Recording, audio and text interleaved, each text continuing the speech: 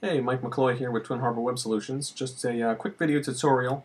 I'm going to show you how to reverse engineer a SQL, Microsoft SQL Server 2005 database using Visio 2003.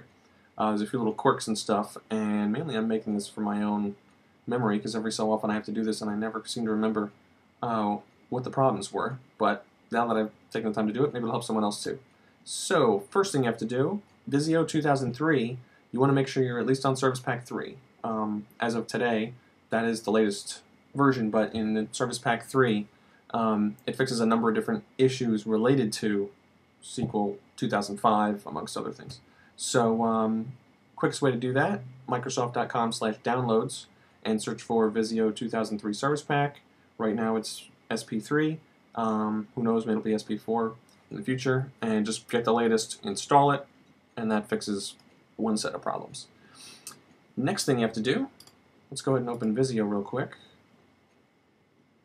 Office, Visio, make a new database model, model diagram here, and we're going to go to reverse engineer, and we'll go ahead and as if we were creating a new one here, I'm going to use the system data source, scroll on down to SQL Server driver, that's good. We're going to give it a name, call it sample 2, because I already made the other one before. One quick tip here on this box, if I hit that down arrow, it always sits there thinking about the network too long. So you can save yourself some time by saying localhost if you're working with a local database. Then we're just going to click next right on here. At this point, when I had clicked this next button, a lot of times all of a sudden it freezes and I had spent some time to figure out why. As it turns out, SQL Server 2005 has TCP/IP disabled by default when you install it. So what you want to do is go to Microsoft SQL Server, Configuration Tools, the Configuration Manager. We'll go ahead and open that up. I'm going to push down here into Protocols for MS SQL Server. By default, TCP/IP is disabled. And as it turns out, that's how Visio is trying to connect. So you want to right-click on that and hit Enable. It'll warn you that you have to restart the service in order to make it go. I've already done it here. So at that point, you just pop on over to the main item here and just click on this item, Microsoft SQL Server, and hit Restart.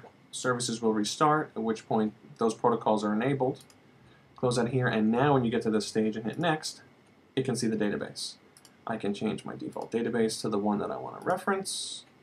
I have a little sample database here for the sake of the video. Say OK, everything's OK. Next. Does ask you for a password. Go ahead and punch your password in. In this case, I'm just using SA for development. And select some tables that you want to reverse engineer. Not going to worry about any procedures. Head shapes, yes. Good. And there's my little shapes. Let me zoom in and see that we have we have some nice little uh, database tables right here. Hope that helps.